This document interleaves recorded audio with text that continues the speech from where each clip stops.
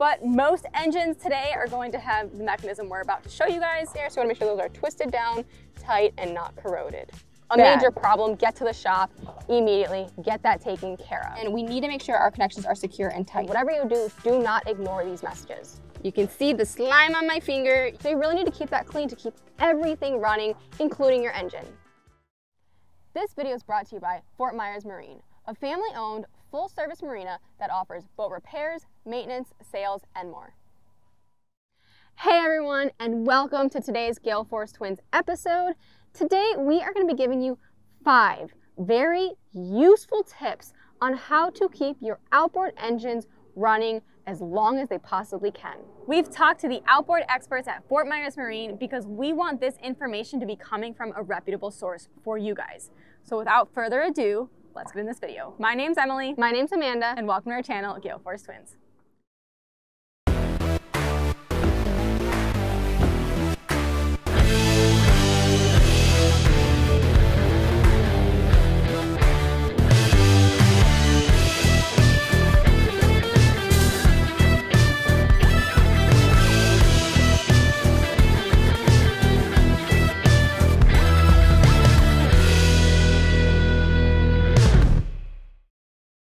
Tip number one is to maintain your oil levels. Now this is so imperative and so important. If your oil levels are too low, a plethora of things could happen. One of them being you have metal rubbing on metal causing internal damage in your engine. Now the oil is acting as a lubricant, so if you don't have enough of that, that's a big problem. Most engines will give you some kind of a warning or alarm if your oil levels are too low, and whatever you do, do not ignore these messages. Another possibility is too much oil. Although that's probably not as likely, too much of a good thing is still a bad thing. One of the things that could happen is you could end up compressing oil instead of air, once again causing more engine damage. So now what you wanna do is you wanna check your oil levels and we're gonna show you guys what you really wanna be looking for. Of course, the first thing we have to do is take the cowling off.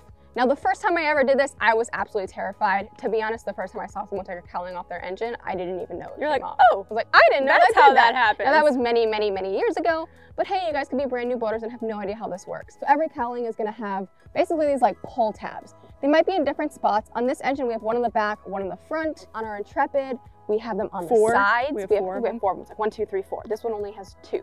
So we're gonna get this one and we're just gonna pull this cowling off and locate that dipstick. There we go. Every manufacturer is going to have a different procedure on how to check your oil levels. Some might want the engine warm, some might want it cold, some might want you to lift it up for five minutes and then bring it down, some one minute and then bring it down. So whatever it is, go ahead and check with your manufacturer. So we've had our engine tilted up based on what our engine requires for five minutes, and then we are going to trim it all the way And down. And we tilt it up. Yep, we give tilt the it up oil. so that the oil can drip down into the crankcase. This yellow handle or tab right here is gonna be our dipstick. So I'm gonna go ahead and just carefully pull this out. And the first thing you're gonna wanna do is take a clean paper towel and clean it off, okay? Because we are gonna stick it back in. But let's take a look. You see we have these, um, these like hash marks on our dipstick. And ideally, your oil levels are gonna be right between the two directly in the middle. That's gonna be the perfect amount of oil. So we are gonna go ahead, put this back in one time, okay? Then we're gonna pull it out and see where it is. So Emily, do we look good? We look pretty good. We look pretty good. Maybe a little low. Honestly, we might need to add a little bit more, but this looks really good. And we can also look at the color of our oil. I would say this is kind of close to the color of olive oil, maybe a little bit darker because we've been running the engine, but this is a good color. Brand new oil is basically gonna be olive oil colored. That's the best way to describe it. And it'll get more brown and darker the more you run your engine. Now, black oil or dark oil doesn't necessarily mean it's horrible and end of the world, but you're probably getting close to your 100 hour service. It's time to change it. If you have really dark oil, I would just pay attention, check the hours on your engine. Now, if you have milky oil, I like to think it looks like a cappuccino. So if you have cappuccino colored oil, or like, you know, latte colored oil in your engine, well, that means that you have water in your oil, which is a Bad. major problem. Get to the shop immediately, get that taken care of. You did just see our dipstick, and another possibility is if we know we didn't recently add oil to our engine and the oil levels were way high, there's a possibility that there's fuel mixing with our oil. So that's definitely something to think about and consider. Another possibility is if it's way low and we know we just added oil, we might have an oil leak which is also not a good thing. So these are things just to think about, you know, if your oil levels are low and you put your boat in the water, check and see if you have any oil coming out somewhere. But what we're gonna do really quick is we're gonna show you where you would add the oil. And right here, this is where you're gonna add your oil. I'm not sure if I can, okay, good, I can twist it off with my hand. Sometimes a pair of needle nose pliers will help out with that. This is where you're gonna add it. If you have a funnel, great. If you don't, pour slowly and carefully. Take your time, pour a little bit at a time try not to overdo it. One last question before moving on to tip number two is how often should you be checking your oil levels? So the answer is ideally every trip. If you're running every day and your engines have been running fine though, you're probably okay with doing it every three, four, or five trips. But the most important time I would say to do it is every time, like if your boat is at a marina and you take it out once a month. That first time you get it every month, that's what it, that's the most important time to be checking it. Tip number two, for maintaining your engines is to flush your engines. So guys, I don't know if you've heard mixed reviews, but we've heard crazy amounts of opinions. Some people, career charter fishermen who run every day, never flush their engines. Some people don't care about it. Some people make it take it really seriously. It's all over the place. So to make things easy for you guys, we asked Brian from Fort Myers Marine what he thinks we should do. The answer is to flush your engines every time you use them. Now, depending on your motor or your engine, it's gonna depend on how you flush it. We have a built-in connection, but there's flush muffs and flush bags and buckets as well. Here is our built-in connection, and you guys can see it has an O-ring in it. I'll show you that O-ring, so that yellow ring right there. Yep. So be really careful not to lose this ring. These rings fall out a lot, and that is not there, it's vital Yes, to keep your O-ring to yes. keep your engines cooled. right. So outside of flushing, so why don't you go ahead and just screw that on. Outside of flushing your engines, if you lose your O-ring, your engine might not be getting the cooling it needs when it's running. So just pay attention to that O-ring, make sure you don't lose it, and if you do, go get yourself a new one. Once the hose is attached, you would turn the hose water on and let it run for 15 minutes. Now, we are actually just freshwater fishing today, and we are still currently right around the boat ramp. So we don't have access to water, but because we're freshwater fishing, we don't have to flush it. So guys, that's something else. The flushing applies to saltwater. Tip number three is to keep your fuel clean. Now you might ask, what on earth does that mean? That basically means we don't want water getting in our fuel. And the next question is, well, how does water get in our fuel in the first place? Usually when you're getting fuel at a marina on the water, you're usually not gonna have this problem because they're using REC 90 non-ethanol fuel. Most of the time the issues are gonna happen when you don't have access to a marina on the water or you're choosing to get fuel at a gas station, which we do it too. It's cheaper, it's more affordable, it makes a lot of sense. There's nothing wrong with that. But this is when you wanna pay attention to your fuel water filter. Now, this is one of those tips that preventative maintenance is key. It's kind of tough to do anything about it after the fact other than a trip to the mechanic for a lot of repairs. The best thing to do is make sure you're getting your maintenance every 100 hours and making sure your marina is replacing your fuel water separator. Right now, you are looking in the bilge of our Hewes and specifically you're looking at the fuel water separator.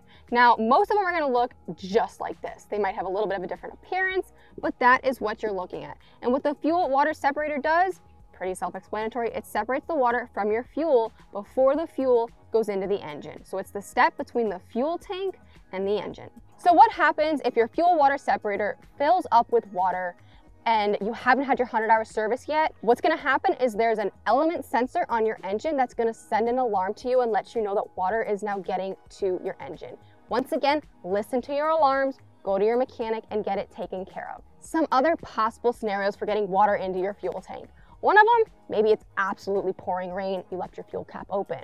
Another one is the gas stations just had tons of water in their fuel and you were the unlucky guy. Another possibility that does happen, sticking your hose into the fuel tank because you Thinking think it's, your freshwater yes. tank and filling it all up with hose water, which does happen. Now, if something like that happens, immediately call the shop. Don't even start your engine. There are other things you can do to get that fixed, but it does happen. So that is why your fuel water separator exists and why it's so important and why it's important to make sure that it's getting replaced every 100 hours. Now, if you live in an area where you seem that every gas station is giving you too much water in your fuel and it seems like you're having an issue before your 100 hour services, it might be something you yourself want to replace every 25 or 50 hours as well. Before we move on to tip number four, let's talk about what it looks like when there's water in your fuel water separator. So Brian sent us this photo and you can see what he did was he emptied the fuel water separator and there's a lot of water in that fuel probably make a whole video for you guys on just how to change your fuel water separator, but I think we should move on to tip number four, which is keeping your battery terminals tight and clean. Salt water is extremely corrosive, and your battery terminals and lugs are metal. So you're gonna take salt water and metal, and it's the perfect environment for corrosion. So I'll have this photo pop up from Fort Myers Marine of what really bad corrosion looks like. The best thing to do here is to prevent it before it even happens. So what we're gonna wanna do is we're gonna wanna loosen our battery terminals and use some sort of anti-corrosion spray. So we're looking at the battery. You guys can see the nut right there. So that's what I'm gonna wanna come in and loosen just there. There we go, loosen it just enough. So now I can loosen it and get some anti-corrosion spray in there. There we go. Getting our anti-corrosion spray in there. And what we're gonna do is we're gonna wanna like wiggle everything around just to make sure that it gets everywhere and then tighten the nut back down. And we're gonna wanna tighten that nut back down nice and tight. Why don't we grab our wrench? And then we're gonna wanna tighten everything down and just make sure that everything is secure because without a secure connection, your engines will probably not start. So let's say your engines aren't starting. A quick thing that you can check yourself is what we just showed you. Make sure your nuts on your batteries are nice and tight. But there's another connection on the engine itself. So let's say you get it looking good on the batteries and it still doesn't start. There's one more connection to check. Exactly. So what we're gonna do is that our battery is in our console right here, and we know that the cables run through the bilge, and you can actually see them. I'm gonna come around really quickly down in here. Right now we are looking in the bilge, and Emily, can you point to the black and red cables? So we can see those running through the bilge, and then the cables will run through this tubing. We already took our cowling off. You can see the cables right here, and we're gonna come around. And right now you are looking at the red or positive connection. You can see the lug nuts and terminals right there. So you wanna make sure those are twisted down tight and not corroded. It's a good idea every couple years to have your service center, cut your wiring back, put new ends on, and get everything treated. Last and final tip, tip number five, is to keep your bilge clean. Now the guys at Fort Myers Marine, so the amount of boats that come in with issues and they look into the bilge and just the bilge is disgusting. It's moldy, it's slimy, there's fish blood in it. Whatever it is, you guys realize there's a lot going on in your bilge. We have wiring, we have some of our, some bilges have batteries in them. Um, you've got your bilge pump, you've got your live well pumps, you've got a lot of really important tools in your bilge. So you really need to keep that clean to keep everything running, including your engine.